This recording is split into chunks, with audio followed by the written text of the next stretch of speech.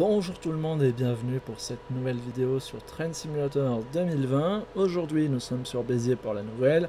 Nous allons faire un, train entre euh, Port-la-Nouvelle et Béziers en s'arrêtant à Narbonne. Train euh, TER donc, euh, TER de, aux couleurs de l'ancienne région Languedoc-Roussillon avec les voitures du pack Corail VTU TER de chez Sim Express et la BB 26000 de chez Sim Express également. Alors ça fait longtemps que j'ai pas fait de vidéo sur Béziers pour la nouvelle, j'ai dû en faire euh, euh, une ou deux je crois euh, depuis, depuis que j'ai créé la, chaîne. Simplement c'était une ligne qui, qui à partir de Train Simulator 2018 chez moi fonctionnait assez mal.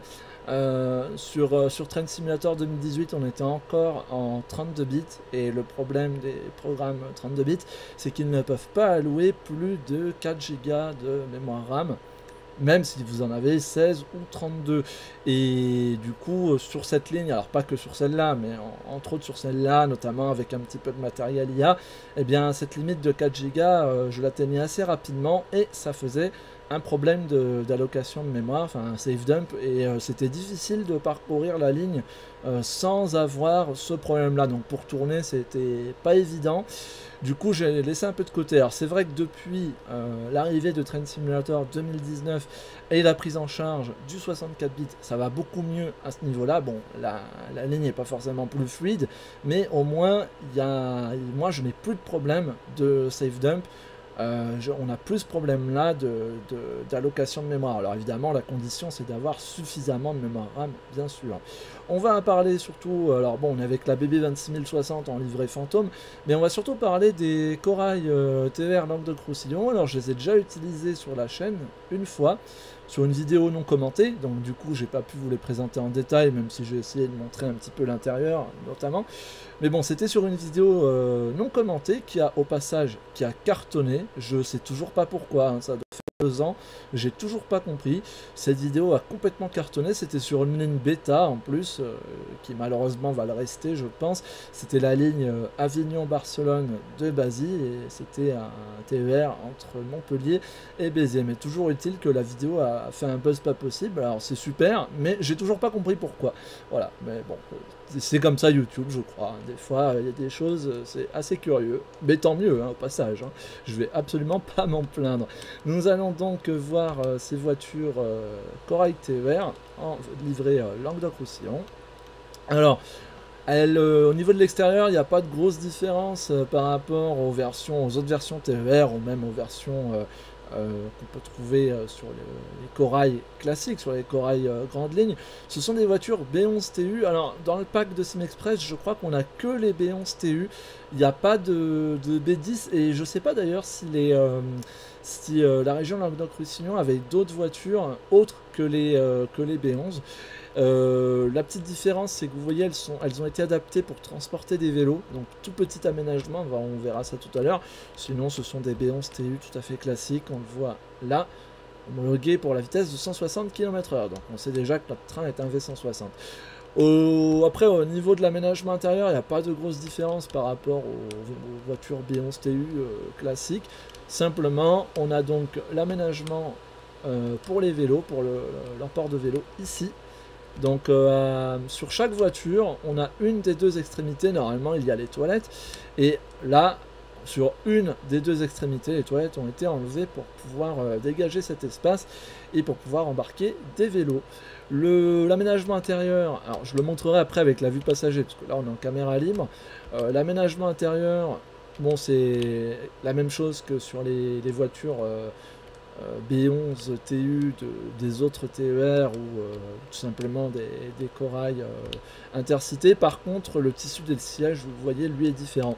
Alors je sais pas, a priori, enfin en tout cas, a priori dans le pack TER, enfin corail TER de SimExpress, a priori, c'est la seule livrée, enfin c'est la seule région où il y a des versions un petit peu personnalisées, on va dire, à la fois de l'aménagement intérieur euh, donc, euh, et puis le, tissu des sièges, alors c'est minime, mais a priori sur le, sur le pack Corail TER de SimExpress, c'est le, ce sont les seuls à être réellement personnalisés. Après, je pense que les autres régions utilisaient les, voitures Corail, euh, les anciennes voitures Corail, euh, tout simplement sans transformation. Il y avait juste la, livrée qui a été refaite. donc je sais pas après si d'autres régions ont personnalisé un petit peu leur, voiture Corail dans leur version TER. par rapport à l'emport de vélo par exemple. donc voilà, je ne sais pas si d'autres régions autres que Languedoc-Roussillon ont, euh, fait ces, transformations ou non. Bon, de toute façon, ces voitures euh, tractées, ces voitures corail, TER, à terme vont disparaître. Ça risque de s'accélérer, je pense, d'ici quelques années, puisqu'il y a le nouveau matériel euh, automoteur qui commence à être déployé. Donc, normalement, ces, voitures corail vivent leurs dernières années, je pense, en service, du moins en service régulier. Alors, on est donc en gare de Port-la-Nouvelle et on va donc rallier Béziers en s'arrêtant à Narbonne. On a quelques, wagons de fret euh, là-bas. Et on croisera quelques trains de fret également pendant notre voyage. J'ai oublié de le préciser, mais de toute façon c'est dans la description. Le scénario est réalisé par Agora, alors j'espère que je prononce bien, et le scénario est disponible sur RW Central. Le lien est bien sûr dans la description. On va passer en cabine et on va mettre en service euh, notre machine.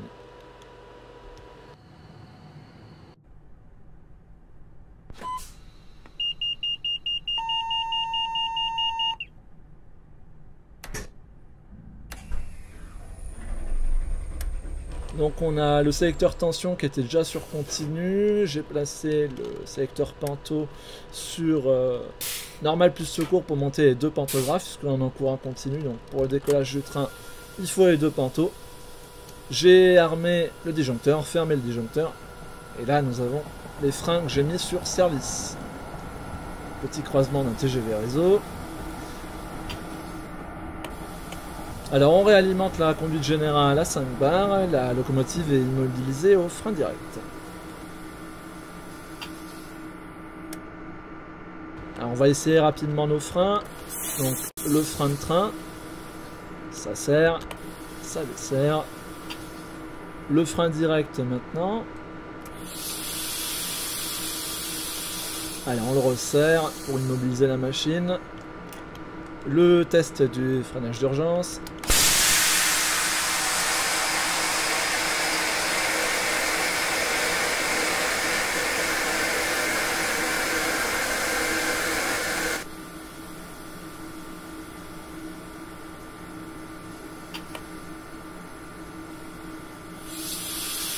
Donc on réalimente et nous allons passer à l'essai de la veille automatique.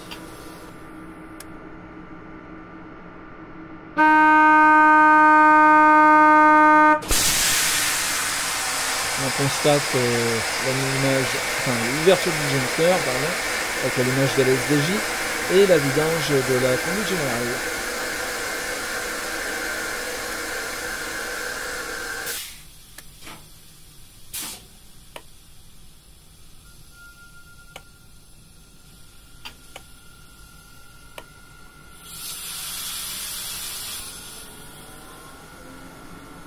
Nous allons passer maintenant au contrôle de contrôle d'appui, contrôle de maintien d'appui, pardon, en restant appuyé sur le manipulateur, sur le cerclo, pendant plus de 55 secondes.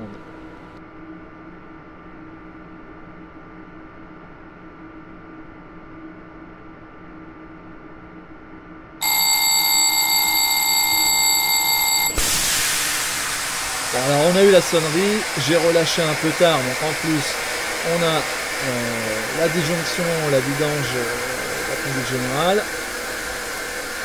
Je sais pas pourquoi. Ça n'a pas réagi. Euh, je pense j'ai relâché un tout petit peu trop, tard et puis j'ai dû avoir une, baisse de, FPS, mais c'est pas grave. On réalimente, on referme le disjoncteur. L'interrupteur essai sur arrêt. On va passer maintenant au test du KVB. On constate l'allumage des lampes, l'ouverture du disjoncteur et la vidange de la conduite générale.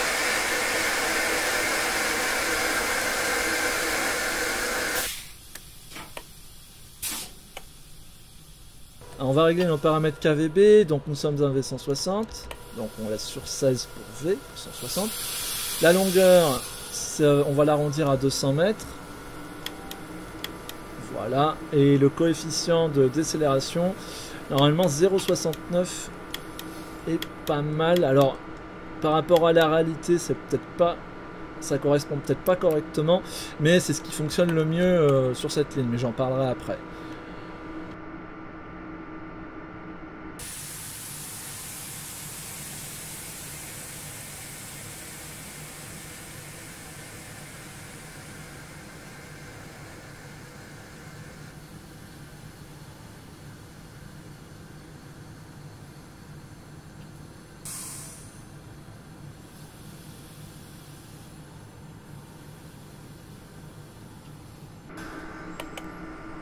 Les freins terminés, nous pouvons valider nos paramètres euh, KVB.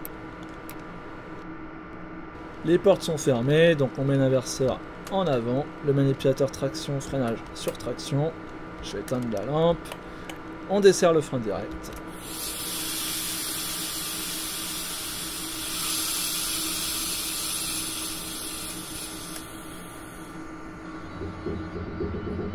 Et nous partons.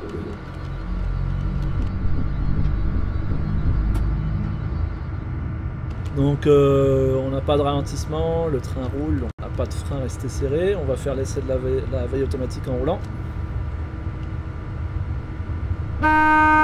Ça fonctionne. Je, disais donc, voilà, je la désactive comme toujours. Sinon c'est trop compliqué à gérer, même si ça m'est arrivé de le faire sur les trajets un peu courts. Au clavier, même si c'est très bien reproduit, c'est vraiment pas pratique. On est limité à 90 km/h et je vais baisser le second panto. Je disais bien que j'étais en train d'oublier quelque chose. On est limité à 90 km/h à la sortie de la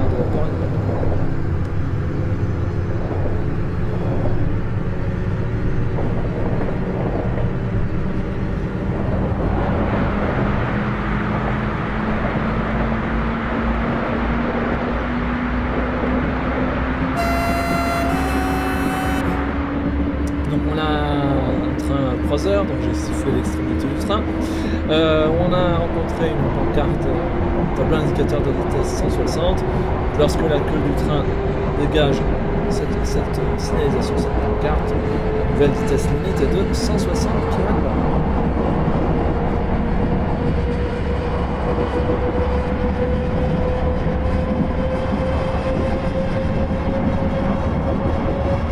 Alors vous l'avez peut-être vu, euh, tout à l'heure, euh, lorsque j'ai mis en service, j'ai pas activé. J'ai activé la répétition des signaux, mais j'ai pas activé la prise en charge du KVB euh, par rapport aux excès de vitesse. Tout simplement parce que c'est toujours un peu compliqué. Alors normalement avec le coefficient de décélération que j'ai mis, normalement c'est bon. Mais c'est toujours un peu compliqué. Et en fait le problème c'est que le KVB a tendance à faire des prises en charge d'excès de vitesse euh, parce qu'on considère qu'on ne décélère pas assez vite, euh, alors qu'on n'a pas encore rencontré la signalisation qui nous impose de réduire notre vitesse. Donc, euh, c'est toujours un peu compliqué, donc je n'ai pas activé la prise en charge du contrôle de vitesse. Ça ne va pas empêcher que le KVB sonne, hein, le, KVB sonnera, mais par contre, ça ne déclenchera pas le freinage d'urgence.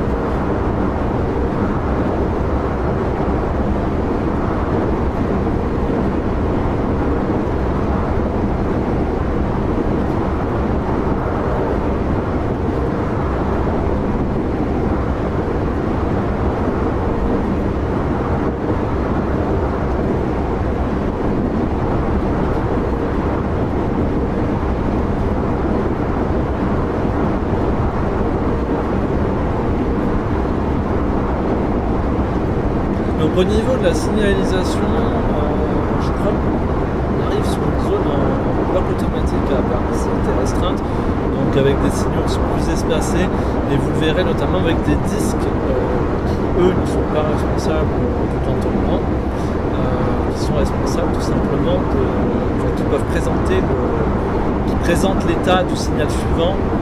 Et en fait le disque informe si le disque présente par exemple l'avertissement, ça signifie que le signal suivant est fermé. en fait le disque, c'est soit un avertissement vert, soit un avertissement, soit l'avertissement effacé. Quand il est au feu vert, c'est comme si le disque n'existait pas finalement. Et s'il présente l'avertissement, bah, comme un bloc automatique. Le prochain signal, c'est la fermeture du prochain signal. On va on va en rencontrer euh, un peu plus loin. Je croyais que c'était là, mais je crois que c'est après la gare de Nord. Alors désolé, j'ai un peu perdu l'habitude sur, euh, sur cette ligne. Pour l'instant, on sera encore en bloc automatique. Je pense que c'est le cas vu l'espacement des signaux.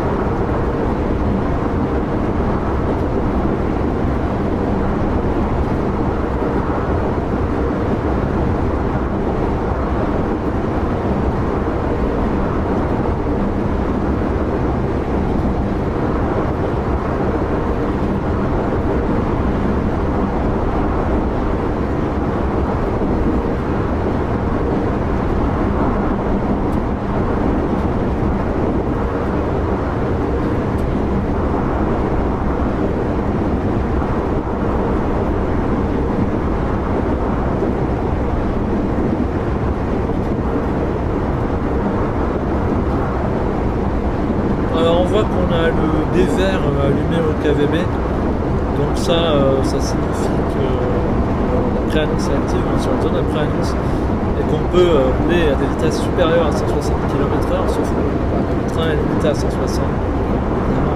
On reste à 160 et je pense qu'en réalité on ne devrait pas avoir cet affichage-là, euh, vu qu'on a indiqué que tout train est à 160. J'imagine que normalement on devrait conserver l'affichage avec les trois traits, l'affichage classique.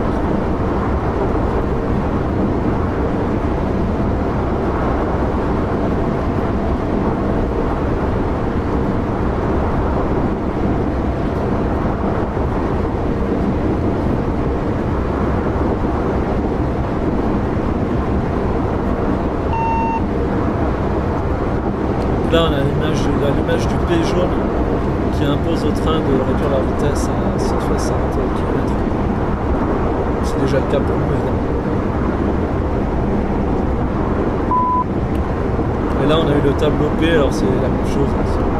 Ça impose de réduire la vitesse à 160. Et on va avoir, un, je crois, un ralentissement à 120 si je dis pas de puisque nous approchons de, de là.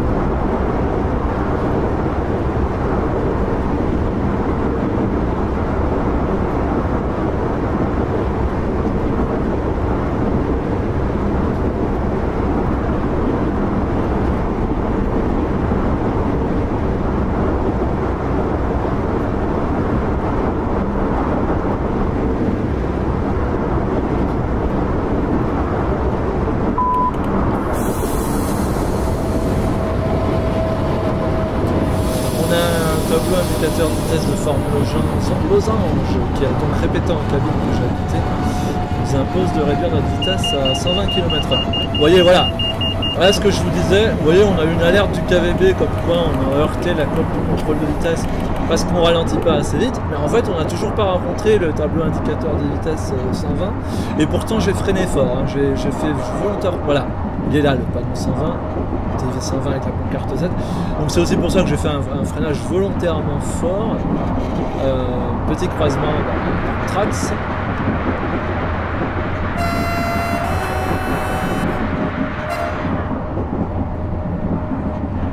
Et nous approchons de Narbonne. On devrait avoir une réduction à 90 km/h.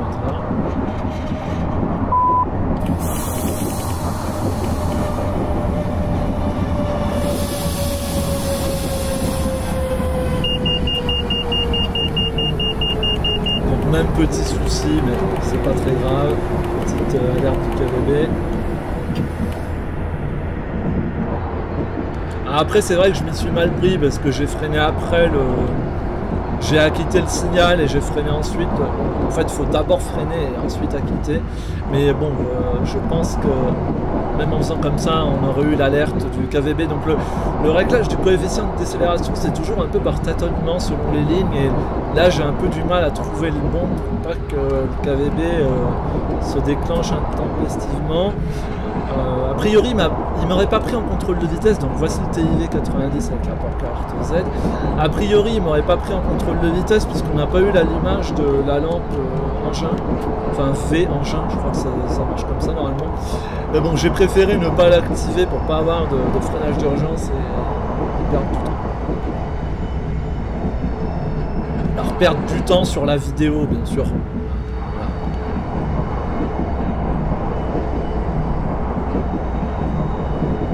Donc du coup, on va un petit peu déroger à la tradition euh, qui est de se taper des freinages d'urgence dans chaque vidéo. Je suis désolé.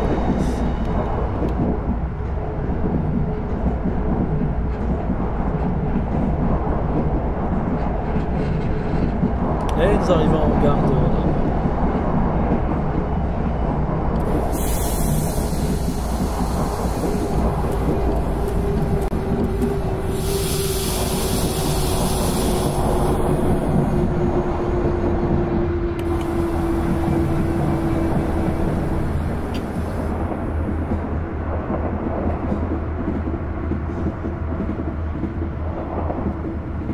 j'arrive volontairement tranquillement, 70 c'est parfait.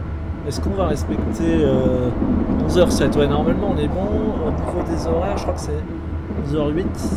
Oui, c'est ça. Normalement on devrait à peu près arriver à l'heure. On va même réussir à respecter le scénario.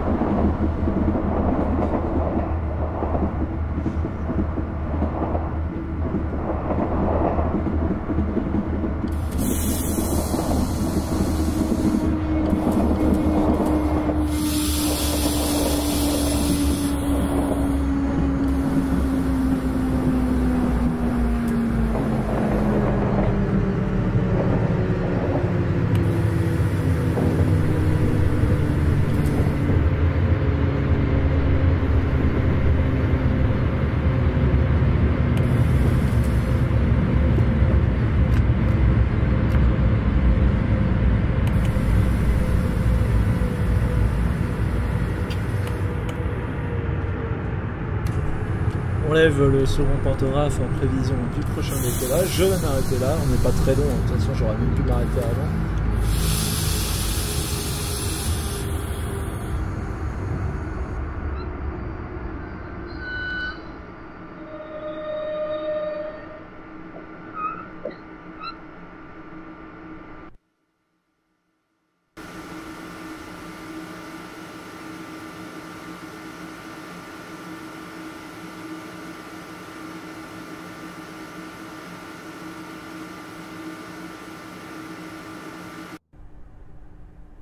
Un petit peu l'intérieur, je profite de notre court arrêt à, Narbonne pour vous montrer la, la vue passager, donc euh, un petit peu plus détaillée.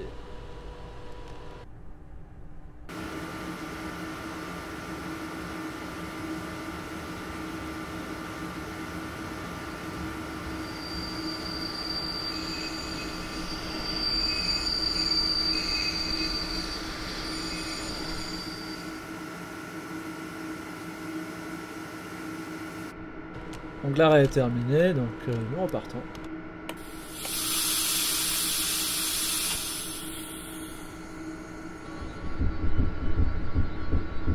Donc euh, la sortie de la gare, je crois, est également à 90 km/h. Bah oui, de toute façon, on a rencontré le, tableau indicateur de vitesse 90.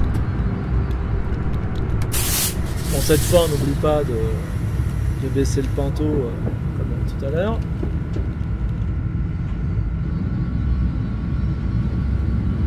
Et je crois que j'ai complètement oublié de faire le test du signal euh, d'alerte lumineux en voulant me dépêcher un peu pour pas perdre de temps euh, sur le, par rapport au scénario.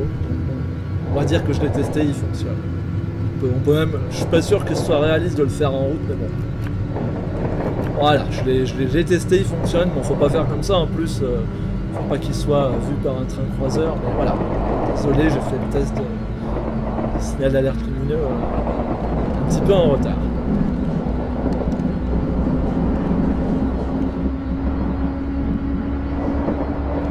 On a un TV 160 avec une pancarte Z derrière un disque avec un feu vert donc euh, ce qui ça signifie en fait avertissement ouvert, c'est comme si le disque n'était pas présent. Et donc le, signal suivant est forcément ouvert. Euh, par contre j'imagine qu'il pourrait présenter l'avertissement. Euh, mais en tout cas le signal ne peut pas être sémaphore par exemple. Effectivement. Donc à partir de maintenant, nous sommes en bloc automatique permissivité restreinte Bon, le KVB nous dit qu'on est sur une zone préannonce euh, de 200 km/h, bien sûr, on n'en tient pas compte. Je ne sais pas du tout si elles existent réellement, ces zones. Bon, en tout cas, ça a été modélisé comme ça.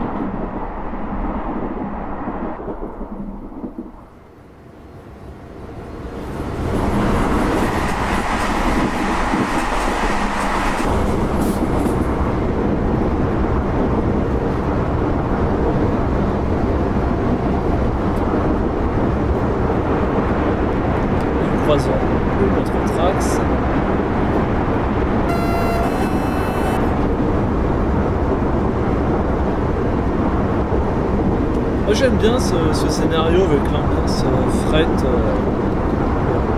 Vous voyez, je crois que depuis le départ, on a croisé euh, deux trains de voyageurs, le TGV et puis le TER dans l'autre sens. Sinon, on a croisé beaucoup de trains de fret et je trouve ça assez sympathique. je crois que les wagons de fret, il y en a beaucoup qui sont de 3 d après, il y en a d'autres que vous pouvez trouver sur ICMFR notamment. Mais de toute façon, sur la, page d'RPP centrale du scénario, l'auteur a indiqué le matériel à avoir avec les liens. Alors, il y a du matériel gratuit, il y a du matériel payant. Vous n'êtes pas obligé d'avoir tout le matériel pour faire fonctionner le scénario. Mais, euh, après, voilà, si vous voulez que les trains IA fonctionnent, il faudra, il faudra tout avoir. avoir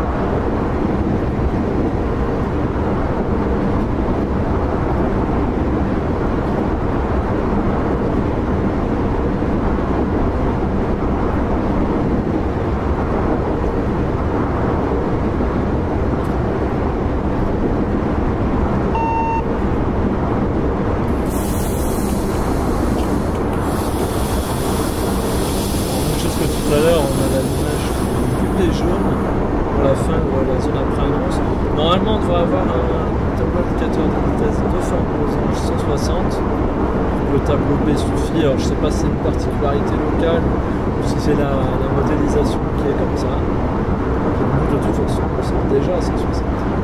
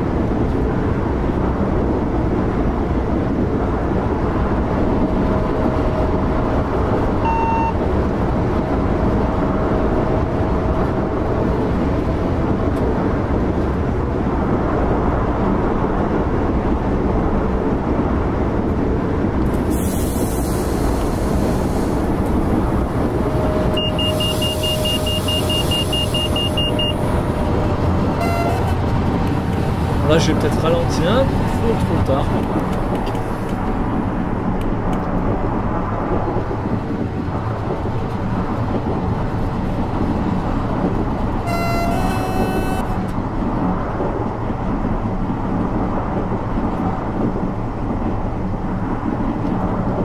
Voilà, là on vient de rencontrer le TIV de type B, forme de bol, qui s'adresse au train pour circuler à une vitesse supérieure à 140 km/h. Ça nous concerne. C'est pour la traversée de la gare de Colombienne.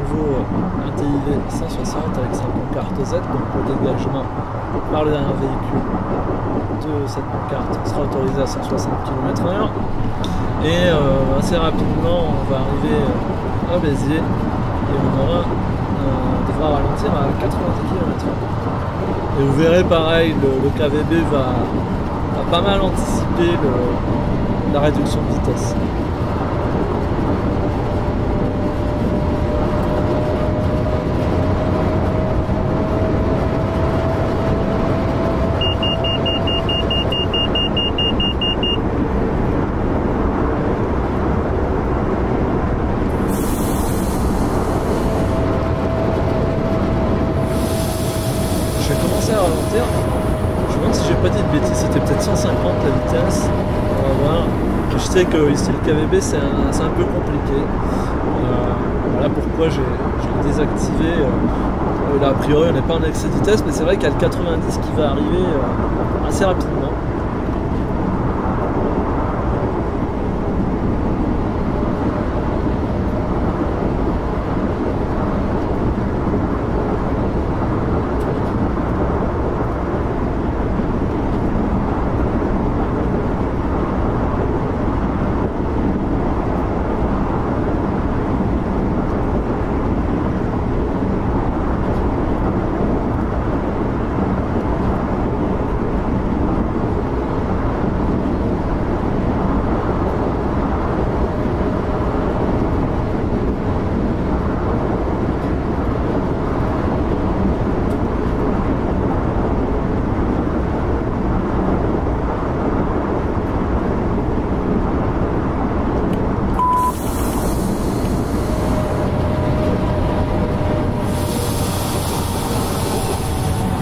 À réduit son vitesse à 90 avec le TV Losange qui a bien sûr été répété.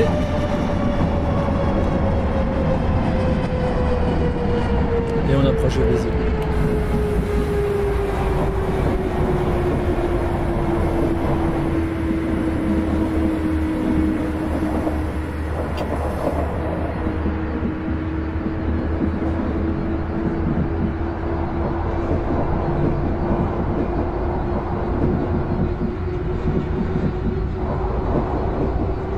Et voici donc le TV90, la carte Z, qui marque l'origine de la zone. Mais nous arrivons tout de suite au gare de Béziers.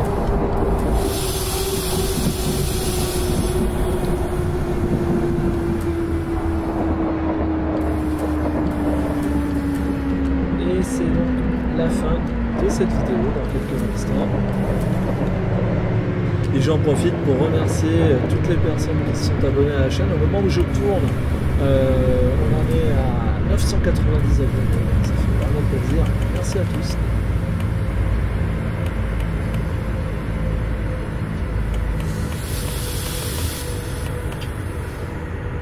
Donc euh, bah, je vous dis à la prochaine pour, pour d'autres vidéos. On va bien sûr continuer la, la transversale centre sur Open Rail, donc entre Lyon et Nantes. Vous allez bientôt avoir la, la, seconde partie.